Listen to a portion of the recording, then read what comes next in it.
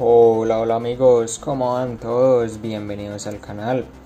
En este nuevo video les vengo a hablar sobre la biografía de Nikola Jokic. Bueno, Nikola Jokic, nacido en Yugoslavia el 19 de febrero de 1995, es un jugador profesional de baloncesto serbio que actualmente pertenece a la plantilla de los Denver Nuggets de la NBA equipo que lo seleccionó en el puesto número 41 de la segunda ronda del draft de la NBA 2014. Con 2.11 metros de estatura se desempeña en la posición de pivot. En 2012, Jokic firmó con el Megavisura, pero sobre todo para jugar con el equipo juvenil en 2012-2013. En 2013-2014 jugó 13 partidos para el Megavisura en la Liga Serbia y 25 partidos en la Liga de Adriático.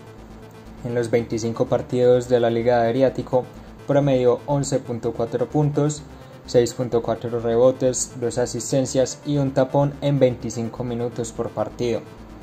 El 26 de junio de 2014, Jokic fue seleccionado en el puesto número 41 en general del draft de la NBA 2014 por los Denver Nuggets. En julio de 2015 ficha por los Nuggets tras promediar 8 puntos y 6 puntos rebotes en la NBA Summer League. En su primera temporada fue incluido en el mejor quinteto de rookies de la NBA. En su tercera temporada en Denver, Jokic se estableció como el pivot titular de la franquicia de Colorado, en la que promedió 18.5 puntos y 10.7 rebotes. En su cuarto y quinto año lideró a los Nuggets y fue seleccionado para el All-Star Game. Durante su sexta temporada, la 2020-2021, estableció un par de récords. El 28 de diciembre como el pivot con más asistencias en un partido de la franquicia, con 18, y solo por detrás de Wilt Chamberlain con 19, de toda la NBA. Y dos días después, el 30 de diciembre de 2020, se convirtió en el jugador con más triples dobles de la historia de los Nuggets, con 44, y el noveno en toda la NBA.